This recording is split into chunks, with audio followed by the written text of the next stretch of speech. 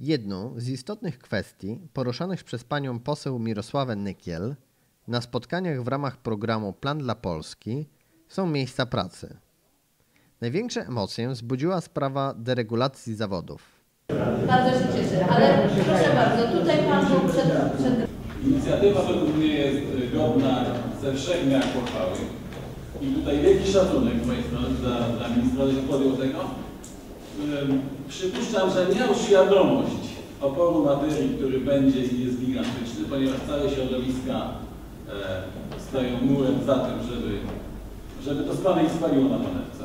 Wyobrażam sobie, co miał to na myśli i w skrócie chyba, tak powiedział, nie uda się do tego zrobić za jego kadencji. Proszę Państwa, jest anarcha, anarchiczny zapis w Konstytucji, gdzie trójpodział władzy jest. Władza ustawodawcza, władza wykonawcza i władza sądownicza. Przecież ci sędziowie robią to, co chcą. Wcale wszyscy. Wszystkim wcale.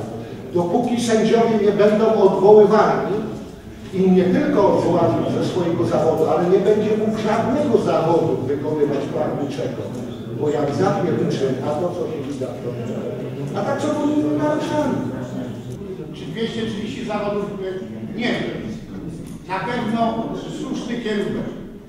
Ale proszę Państwa, to ma przynieść bardzo jakieś tylko około 100 tysięcy nowych miejsc pracy. Ja mam w momencie pomysł na 200 tysięcy nowych miejsc pracy. Nareszcie wyjdziecie za ZUS. Jeżeli nowi otwierają jednoosobowe firmy i tak dalej, na początek zarabiają tysiąc, pracują tylko na ZUS. Mają dość tego. Jakby to było w jakiejś wysokie koszty pracy. Do pierwsze ma tysiąc zarobione 10%, stówkę zapłaci i tak dalej. Jeżeli to nie zmieni się, to naprawdę ta rzesza 200 tysięcy miejsc pracy nie powstanie. Państwa, ja jestem z zawodu budowlańcy. Ostatnie 20 lat prowadziłem swoją własną firmę budowlaną. Za czasów komuny było to tak. Izby rzemieślnicze, do których miałem obowiązek należeć i płacić składki. Potem jakieś 2-3 lata wyszło po przemianach w 1989 roku i nagle powstały e, izby już nie rzemieślnicze, tylko samorządy yy, zawodowe.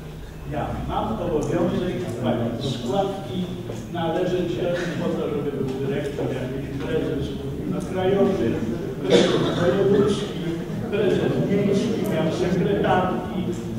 W tym budynku też jest taki prezes, siedzi piętrowy. Po to tylko, żeby co roku potwierdzać moje uprawnienia, które otrzymałem zdając egzaminy państwowe.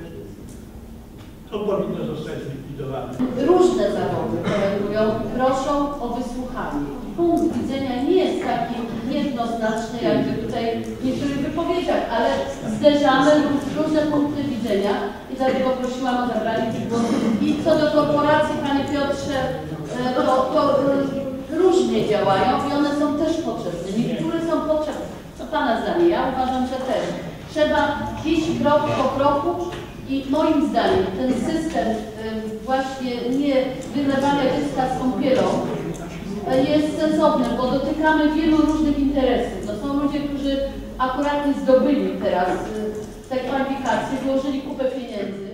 Pani poseł podkreślała, że jest to proces, który musi trwać. No, to Obiecała także zorganizować spotkanie z panem ministrem Gowinem, by ten mógł bardziej szczegółowo przybliżyć to zagadnienia.